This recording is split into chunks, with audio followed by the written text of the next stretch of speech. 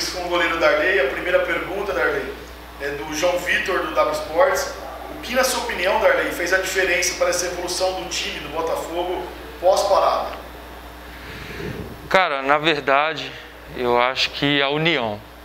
É, todos nós sabíamos né, da responsabilidade que teríamos. Estava, estávamos numa colocação muito difícil e todos tinham essa consciência. Durante o período da pandemia, é, trabalhamos bastante, é, tanto né, é, individualmente como também em grupo, no caso via online. Então eu acho que aquilo ali ajudou bastante, sabe? As conversas que a gente teve durante esse período também, as orientações né, do, do professor é, e dos demais né, da comissão técnica. Acho que quando a gente voltou, a gente sabia que a gente tinha que dar algo, algo a mais. E isso ficou é, provável, provado no jogo contra o Guarani, né, cara? Que a gente fez uma grande partida. Acho que ali foi o que nos tirou, né? Daquela zona que nos incomodava e ali a gente conseguiu a permanência. Agora a pergunta do Reginaldo Decares, da CNN. Darley, o que significou para você estar há tanto tempo no clube essa permanência do Botafogo na primeira divisão do Paulista?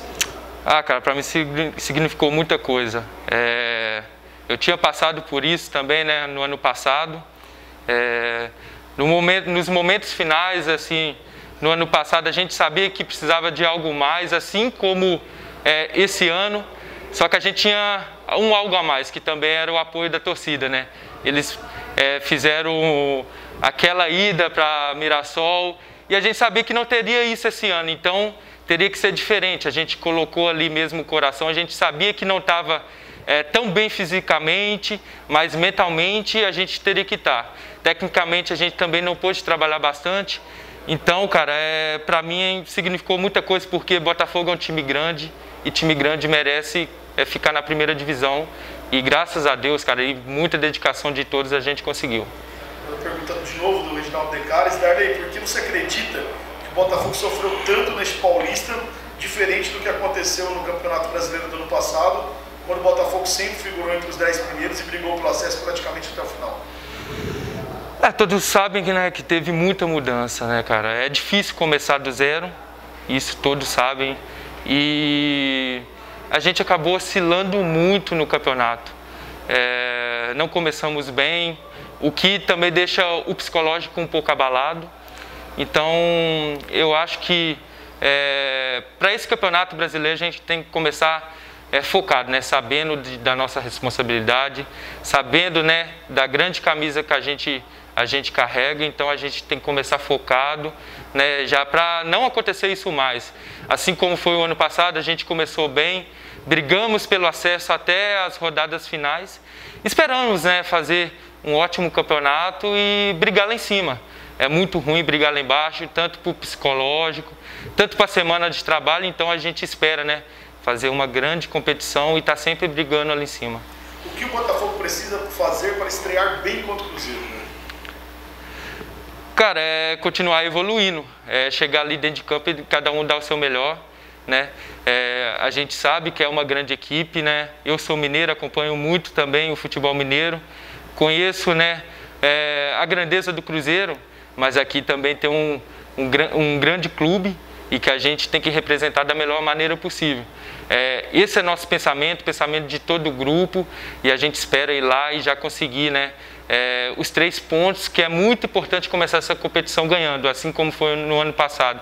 Então a gente espera ir lá, né, fazer uma grande partida e conseguir os três pontos, cara. Agora a pergunta do Nando Medeiros, da Rede Fé.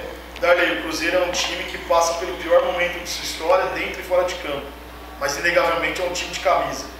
Possível entender que uma vitória do Botafogo sobre o Cruzeiro pode trazer a confiança de que a Série B será bem diferente do que foi no Paulistão? Cara, claro. É... Eu falo que vitória traz confiança, né? Para o jogador, para o clube, para os torcedores. É... Então, claro que uma vitória contra uma grande equipe no primeiro jogo seria muito importante para a gente é, dar uma sequência no campeonato. Mas o campeonato não se resume em uma partida, né? Então a gente tem que começar focado e continuar focado. Esse é o nosso objetivo, que é colocar o Botafogo, como eu falava sempre, no lugar mais alto onde merece estar. Então a gente vai trabalhar bastante para isso, já começando nessa partida contra o Cruzeiro. Agora a pergunta do Geraldo Neto, da IPTV. No Paulista, o Botafogo teve uma das defesas mais vazadas. Como mudar isso para a Série B do Brasileiro? Então, é, teve alguns jogos né, que a gente desorganizou bastante. É, onde que sofremos gols, é, o psicológico durante a partida, acho que no geral pesou bastante. Então a gente vem de uma evolução. Isso não sou eu que estou falando, são os números que, que falam por si próprio.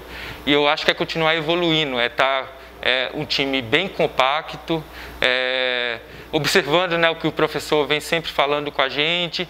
Porque quando toma gol não é só lá atrás, então começa ali da frente. Então a gente tem que estar tá bem compacto, né, bem organizado, para que possa minimizar o, o máximo né, é, o número de gols. E pelas últimas partidas a gente viu que está é, tá um time mais organizado, um time mais compacto e a gente vai trabalhar para isso, né? Sofrer o menos de gol possível para sempre estar tá ganhando as partidas, né? E esse é o nosso, nosso objetivo, os três pontos sempre. Ok. É, você é um dos destaques do time e tem a confiança do torcedor. O Darley confia que o Botafogo vai fazer uma boa Série B nessa temporada? Eu confio sim confio sim.